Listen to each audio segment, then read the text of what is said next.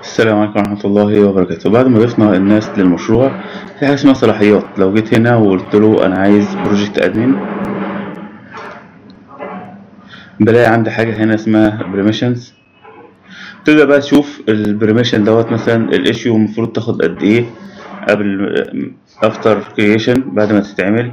ال closing issue قد إيه ال issue numbering ال permission تمام؟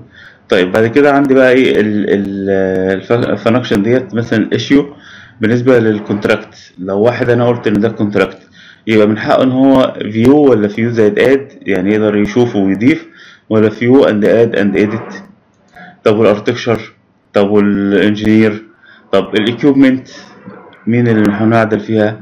طب ال daily update مين اللي حق إن هو يعدل؟ كله ينفع يعدل ولا شخص واحد بس؟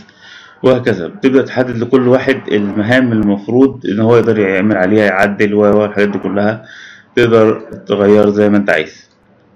وفي حاجة اسمها lock editing هتقفل التعديل للعناصر ديت.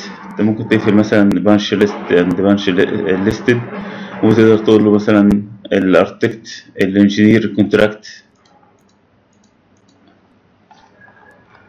وهكذا.